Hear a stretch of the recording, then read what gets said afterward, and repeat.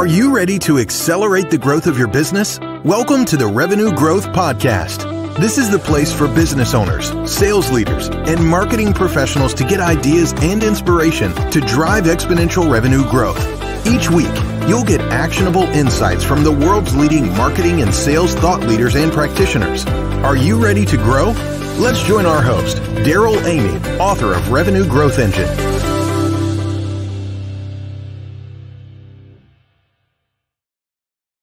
Welcome back to the Revenue Growth Podcast. Your host, Darrell Amy, here today with an incredible guest, David Newman. I'm so excited about the conversation we're about to have. You're going to want to grab a pen and a notepad. In fact, maybe two notepads for this one. It's going to be packed with practical ideas you can put to work right away.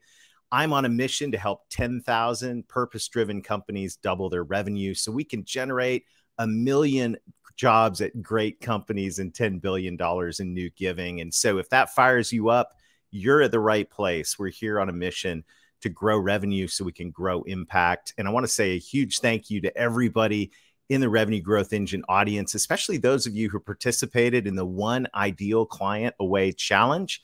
We had a great event together getting focus on our ideal client profiles. I'm sure that's going to come up in my conversation with David here today.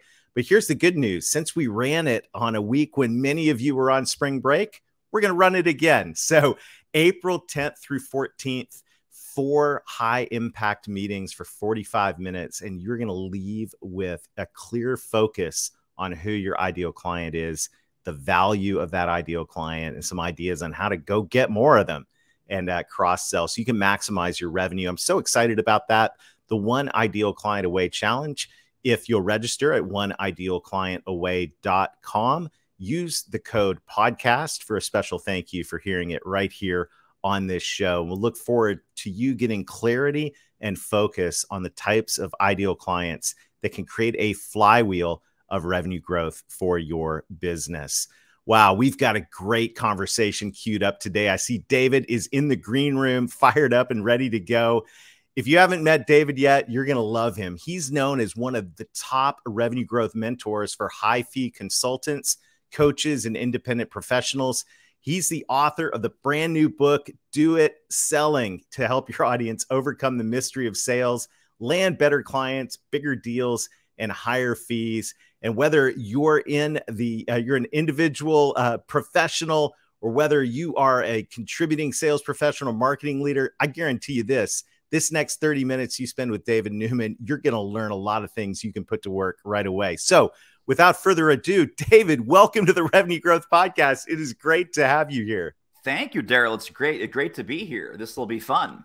It is going to be fantastic. And look, this is what I love about this is this is like instant action. Do it selling. Like, let's do it. Let's not just talk about it. Let's get it done. And I've just got my hands on this book last week. It's I'm apologize. It's already dog eared. I mean, it's a beautiful book. It's for salespeople like me that like pictures all the way through. Uh. But actually, what what it's really practical about is every chapter you do it at the end of each brief chapter. There's something you can do like right now that's going to move the ball forward. So give us the do it vision like what's the what is the vision behind this book and and what you want people to take away from it because i i'm getting a lot already out of it david Sure. So the the whole concept behind the do it selling book and the do it selling philosophy is very few people grew up saying, "Man, I can't wait to grow up and be a salesperson." Right? This is almost always an accidental career that you wanted to do something and then somehow you end up in sales. Even the most successful salespeople, sales trainers, sales speakers, they would tell you, I I really didn't, you know, when I was growing kind of fell into sales. Kid, it's like, okay, Johnny, what do you want to be? I want to be a salesperson. Said no kid ever. So the person who is in a sales career, either working as you know, in sales for a company, working in sales for themselves. Maybe they're in professional services. So they're a consultant, they're a lawyer, they're an engineer, they're they're someone who loves the work of their work, but they just don't like selling. My mission is to get those people excited.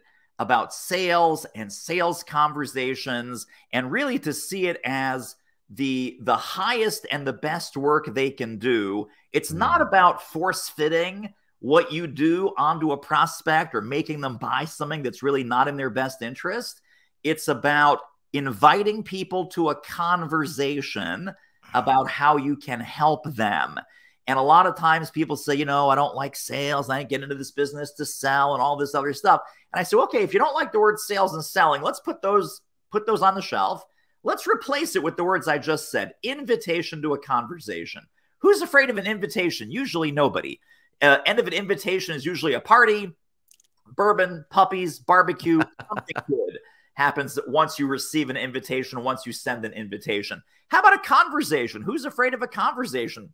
Usually nobody. What happens in a conversation? We meet new people, we exchange ideas, we build relationships, perhaps we build a brand new friendship and someone that becomes a lifelong friend. Some of those friendships can be commercialized into a referral, an influencer, an introducer, maybe a client now, maybe a client later. But generally, Darrell, when I say, hey, let's have more invitations to a conversation about how you can help people, that is the first baby step in reducing the fear, reducing the resistance, reducing the hesitation into really professional grade sales and selling.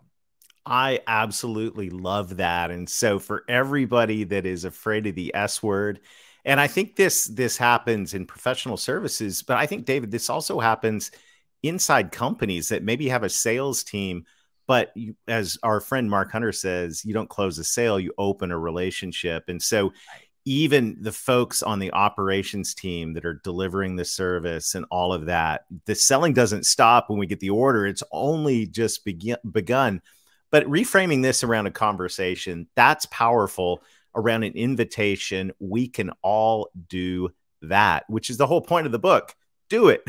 so everyone pause the podcast right now and invite somebody to a conversation because this is this is the type of, of thing you're going to get out of this book that I absolutely love is there's just no hey at the end of this chapter I, I want you to sit around and ponder what you've learned meditate on it and uh, not do anything and this is this is one of the biggest challenges with i think selling or the inviting people to conversations is there's a lot of good intention and not enough action. So you unpack some of this at the beginning of the book. Maybe if you'd be so kind enough for those who are stuck in intention without action, what what would you say to our friends who find themselves there from time to time? Oh my gosh. Well, that's sort of the whole that's sort of the whole philosophy that only action creates results. Mm-hmm. So, you know, it's not uh, and this is why this is why it's not called think about it selling. It's not called someday maybe selling. It's not called, you know, let me ponder some more on it selling. It's about do it selling. And really, it's about baby steps. And this is, I've, I've gotten this feedback from a lot of early readers, Darrell. So thank you again for, for thumbing through and for your enthusiastic recommendation. It's about breaking things down into baby steps that lead to big results.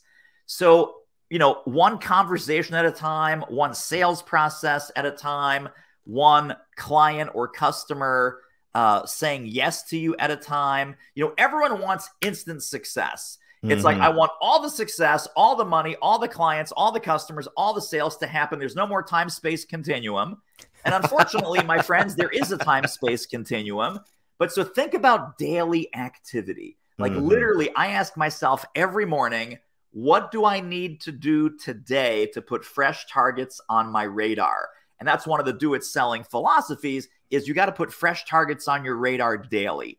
Now, are we talking about cold calling the universe and spamming, you know, hundreds of people on your LinkedIn or just dial, you know, dialing uh, a uh, hundred numbers and being a moron like that? We are not.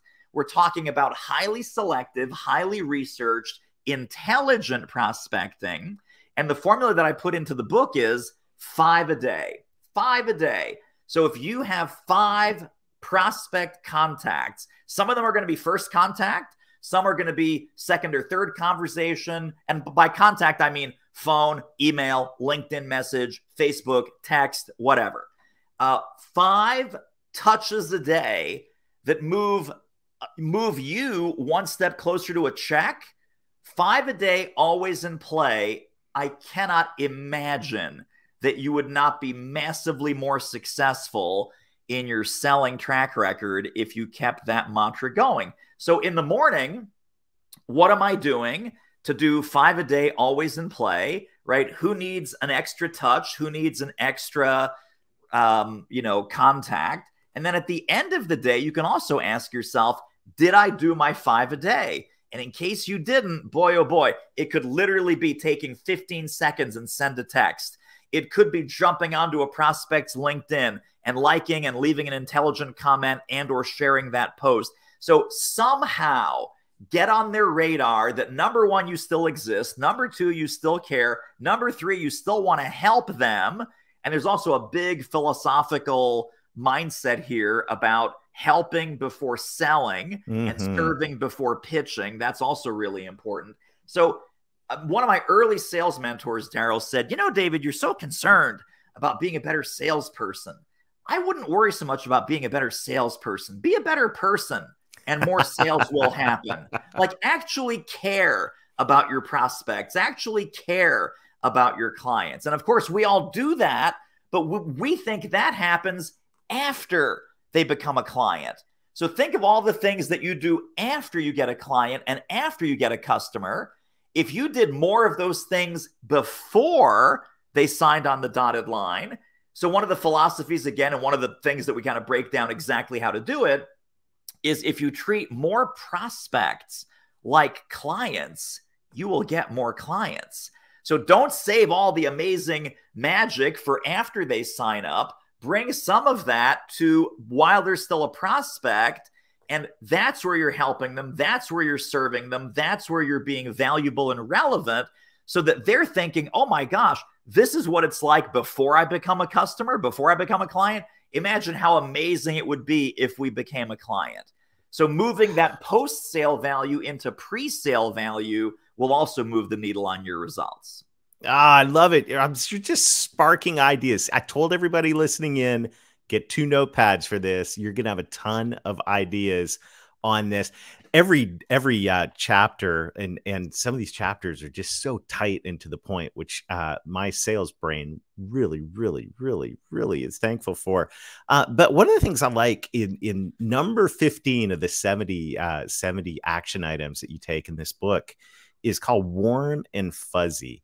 And this one was so simple but i thought it was incredibly powerful. Can you unpack warm and fuzzy. We're on, for those who are playing along, we're on page 57, but this was where you said, Hey, look at your circle of allies, oh, friends, yeah. colleagues, and champions. Look at the, the, people that you're already in communication with. Yes. Um, and start with people, the last 30 or 40 people that you've emailed, called, texted, messaged on Facebook, LinkedIn, Instagram, right. Twitter, Zoomed with individually or in a group. Like this is a phenomenal, highly overlooked way to start because I think a lot of people are paralyzed to go, okay, well, how do I get started in the, you know, there's 500 million people on LinkedIn or whatever the number is today. Yes. You know, how do I get started? Well, start with some friendlies. Totally. And that warm network, so war- warm and fuzzy, mm-hmm. is about start with people that are already in your circle. And most sales professionals and most professional services sellers Mm-hmm. Uh, your your circle of people is far broader and far deeper than you think. Mm-hmm. So w- one of the strategies, let's say you have an email list and you send out a monthly newsletter, maybe every 2 weeks you're sending something out. So I want you to look in your Mailchimp, look in your constant contact, look look in your HubSpot. Who has consistently opened your last 2 or 3 emails? Imagine if you reached out to them, especially if their domain name is interesting, like us.ibm.com. So they work for a big, juicy company that you would love to do business with. Mm-hmm. They're already on your list. They're already opening your emails. They might not work in the department that you would typically sell to. They might not even be a decision maker, but they're obviously engaged with your content. What if you reached out to that person and said, Hey, Barbara, David Newman here from Do It Marketing. I noticed that you've opened up the last two or three of our emails, and I'm really honored that you give us that spot in your email inbox. I'm curious, what is it about our content that you find especially relevant to your work there at IBM? That's all you do. It's one it's one email. It's like two lines.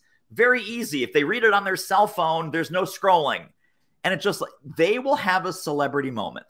I don't mm-hmm. care who you are. I don't care what you sell. It's if you have an email newsletter, right? They're paying attention to you, which makes you the celebrity, micro celebrity. And mm-hmm. they're like, oh my God, I look, I got an email from Darrell Amy. This is amazing. This is fantastic. Now, again, you don't need to be a rock star, a big name with your name in lights, but it's someone that you are paying attention to because they're paying attention to you. Now, mm. again, let's expand that into LinkedIn. Let's expand that into Facebook Messenger. Let's expand that into who's been texting you, who's been sending you messages, who are your last 10 incoming phone calls. These are all people that you have some level of relationship with. It might be tiny, it might be medium, it might be large, it might be an immediate blood relative. And if you reach out to these people, tell them what you're what you're after. Uh, in the book, we call this asking for air, asking for advice, insights, and recommendations. This comes from my amazingly smart friend, Michael Goldberg, who is a networking and referral marketing expert. He works in the financial services industry most of the time. He says, asking for air is AIR, it's an acronym. I would love your advice, insights, and recommendations. So imagine a quick phone call or a quick message or a quick email. Hey, Barbara, you know, we, we, we met last week on Zoom when we were both doing the XYZ call. I'm looking to meet more financial services professionals in the Phoenix, Arizona area. I would love your advice, insights, and recommendations. It's an easy ask. So here's what you're not doing. You're not saying, "Hey, who do you know?" You're right. saying, hey, hey, give me three names. Can I give call your friends? Names. They kind of feel the hand coming through the computer. they give me three names. No, no, no. So I would love your advice, insights, recommendations. Beautiful. Let's say that you you want something else, like, "Hey, Darrell, I'm looking to get the word out about my new book, Do It Selling. I would love your advice, insights, and recommendations." So you can use that asking for air Beautiful. format to get introductions, to get resources, to get speaking engagements, to connect with people that you might never otherwise be connected with. And the more you ask, the more you get. So that is something very easy that your warm and fuzzy network would be happy to help you with. And we sometimes don't think to ask or we're afraid to ask, and there's no reason for that. Yeah. Oh, I love it. I love it. Another thing I absolutely loved from this book, and we're talking about do it selling. And one of the things you need to do is hit pause and go buy do it selling. Uh, and you're gonna you're gonna thank me for this. Um, is when you talk about ideal clients, and I'm everyone that hangs out with me knows I'm passionate about ideal clients, and uh, we want everybody to come to the One Ideal Client Away Challenge on April 10th through 14th because you're going to get crystal clear focus. But you have two sentences in this book that I love. So many people, when it comes to ideal clients, say, Well, Darrell, if we focus on ideal clients, we're going to miss all this other business. And you say, Target what you want. You can always take what comes along. Unpack that for us, if you would. Sure. So, I mean, you're exactly right. And that's why I love that you're doing this challenge. And people do need to sign up for the One Ideal Client Challenge, by the way. Thank you, David. I, I totally endorse that message because otherwise you're just, you know, you're just blowing in the wind. Mm-hmm. And if mm-hmm. you're saying, well, everyone needs what we do, our product, our service is so amazing, it's so important, everybody needs what we do, it is really tough to reach everybody. Everybody doesn't have a name and address. Everybody doesn't have a credit card. Everybody doesn't have a wallet. Specific individual people have credit cards and wallets and companies and teams and problems that, that, that you solve. So everyone does not have the problem that you solve. Some people have the problem that, that you solve. So we're talking about inbound versus outbound here. So target what you want, and you can always take what comes, right? let's say that you decide to target that we do our best work with accounting firms and we are going to zero in on accounting firms of a certain size and a certain geography accounting firms is where it's at suddenly you wake up tomorrow morning You know where to network, you know what to post, you know where to send, you know what groups to belong to, you know what blogs, portals, communities, and forums to hang out in. You know, you know, if you had to buy a list, and I don't recommend buying lists, but if you had to buy a list, you could say, hey, give me a list of all the accounting firms between 10 and 100 employees that are in XYZ geography. Okay, got it. Here, here's your list. This is called the the mailing list test, right? If you can buy a list that mm-hmm. is a specific enough target market where you could go to a list company, even though I'm saying that you shouldn't because you yes. shouldn't. Um, but this is where you do your search criteria. This mm-hmm. is who mm-hmm. you're looking for on LinkedIn. This is where your reticular activation system is totally zeroed in on that kind of company, that kind of prospect that's got that kind of problem. Suddenly, again, I'm going to go to IBM just because it's fun. IBM comes knocking on your door and says, Hey, we, we love what you're up to. We'd love to give you a $150,000 check and we'd love to buy into your product, service, or program.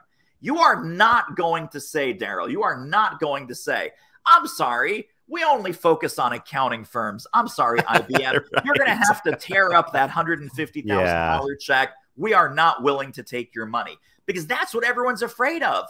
Yet, when you say, oh, we're going after A, B, C, D, E, we have like 17 different ideal prospects, you cannot chase 17 different blogs, portals, communities, groups, 17 different groups of associations, 17 different sets of LinkedIn uh, profiles. It's impossible. So when we say target what you want, and that's your outbound, you can, you, whatever comes in the door, if, if you can do the work, if it's going to be a good client, absolutely say yes, absolutely cash the check. That frees a lot of people up when they hear that advice, like, oh, thank goodness. Now I can really come into the challenge, come into Darrell's challenge.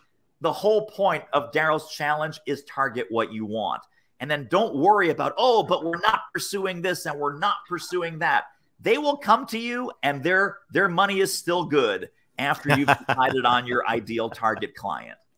I absolutely love that. I'm going to quote you on that many times in the years to come. And and this is true. Like unless you're Nike or Coca-Cola, you do not have an unlimited marketing budget you know you can't you can't boil the ocean and so you need to know your ideal client this is so so powerful so i'm curious like what's your favorite tip or trick out of this book like what's your favorite action item the one you go ah this was this was a zinger i'm so glad i put this in the book so it is totally about discovery i think it starts in chapter 46 yeah, 40 ish. Okay. 40 ish. It's in the 40s. Yes. And it's about deep dive discovery. And mm. it's hmm. about it's about channeling, channeling, take off your sales hat and put on your investigative journalist hat. So suddenly you're 60 minutes, you're Barbara Walters, you're Oprah, and you are interviewing these people and you are uncovering and discovering and peeling the onion of exactly what's going on and what we talk about there is that you can't you can't just pepper them with questions because then it starts to feel like an interrogation and no mm-hmm. one likes being interrogated. But why do people or why did people open up to Oprah Winfrey when she had the the daily talk show? Because she would sit on that couch and she would stare into their soul and she would ask a very simple question. And then she would listen. She would listen with her entire being. She would be fully and totally present so that people told Oprah things that they did not tell their spouse, things that their children did not know, things that their best friend on earth did not know. They just met Oprah 10 minutes prior and they are telling her every secret, every skeleton in the closet because it was a safe, comforting environment where these people felt completely heard. And she created this environment by very straight line questioning. And again, peeling the onion, getting to the issue behind the issue, the problem behind the problem, the question behind the question, and relentlessly, with love and with care and with concern and with genuine curiosity, ask the right question in the right way. And they just opened up. They opened up like they've never opened up before. So we teach you how to do that in those discovery chapters. And we also talk about how a really great discovery call is also like cross examination in a courtroom, that you never want to ask a question that you don't want the witness to hear themselves say out loud. Hmm. And then we hmm. talk about follow up questions, things like and what else and who else and where else and why else is this important and how else will this have an impact and and what else will happen if we don't fix this mm. and just literally staying in that conversation so that people open up like they've never opened up before and it's the person that masters this level of discovery where you set the context of value and the contrast of scale between the scale, size, and scope of their problem versus what the investment is to work with you. And you will start closing sale after sale after sale because you are getting to the real truth of their situation and you are literally giving them exactly what they want and exactly what they need so that they get the help that they that they want so beautiful i'm really really excited I've, as you mentioned earlier, I've gotten to thumb through this book since it came in the mail last week, and now I'm, I'm getting ready and very fired up about going through this chapter by chapter. Once again, everybody, these are great chapters. They're they're way shorter than the chapters in Revenue Growth Engine, so you're gonna love that. They're high impact, and you're gonna get a lot done. Uh, as we wrap up, what words of encouragement would you leave for our professionals that are out there that are maybe struggling a little bit right now and and are, are saying is this you know can i really do this? Is this is this really gonna come on man i've seen i've seen this before. What would you say to the the professionals that are are going okay guys this sounds good but is this really the real deal? Right so so two quick things one from early on in the book and then one from almost at the end. Early on i say true sales success is a little bit harder than it looks, but it's a lot easier than you've been making it. and then later in the book, we talk about the the best way, the best way to improve your sales results and improve your sales process is the more genuinely you can be you, right? With nothing to fear, nothing to hide, just and and you don't want to show up looking uh, you know, you don't want to show up rather uh, wanting to sound smart because that's not really who you are. And you don't want to show up desperate to be liked because that's mm. also not who you are.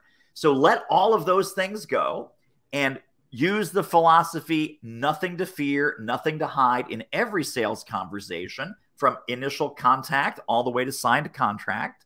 And sales will become a joy and a pleasure instead of stuckness and fear and rejection and all those things that we usually say. So the key to better sales for you is to be more you. And don't worry, go back to what my mentor told me. Don't even worry about being a better salesperson. Be a better be a better person and more sales will happen. I love it. I love it. Well, this has been a joy. This conversation has been so powerful and I think you've given a major gift to the world with this book. So I want to encourage everybody listening in to go grab a copy and you're going to love this book. Outside the book, uh, how can people get more David Newman in their life? Sure. So our main website is Do It Marketing. Uh, and there's a Do It Marketing book, of mm-hmm. course, for the marketing folks, but even 30% of that book was a sales book. So if you go to doitmarketing.com, there's a blog. We have some free training at doitmarketing.com slash webinar. We also have a free 37 page PDF, free download. That's at doitmarketing.com slash manifesto. And then finally, we have the selling show. And Darrell, I am publicly inviting you to be my guest Ooh, on the selling yes. show. And you can jump into all 300 plus plus plus episodes at doitmarketing.com awesome. slash podcast. Well, I am so fired up and I am so grateful uh, for the time you've uh, shared with us here today. Um, David, just thank you from the bottom of my heart and on behalf of everybody in the Revenue Growth Podcast community. You're a rock star. Keep doing it. thank you, thank you, thank you. You got it. And thank you to everybody in the Revenue Growth Podcast community. Look, this is Q2. It's upon us. We're in the game, and everyone is out there being innovative, driving, taking action, thriving, doing it. Uh, and so I'm so grateful to be a part of this community. I love to hear from you. A huge thank you to everybody who is liking and most importantly reviewing the revenue growth podcast that helps us spread the word uh, so we can get more people on board and you know our mission here help 10,000 purpose driven businesses double revenue so we can create meaningful work, a million new jobs, 10 billion in new giving. And we're doing it together and it's going to be amazing. I look forward to seeing you at the One Ideal Client Away Challenge, one ideal client away.com. Make sure to use the code podcast when you enroll for a special discount. And this is going to be an incredible incredible opportunity to get crystal clear focus on your ideal client, the types of clients that can create a flywheel of exponential growth for your business. And as David said earlier, don't panic. You can still take orders from the other ones, but you want to make sure that your best marketing and sales efforts are focused. We've got a great roster of guests coming up throughout the spring and summer. Make sure to like or subscribe. And until next time, let's get going and let's get growing.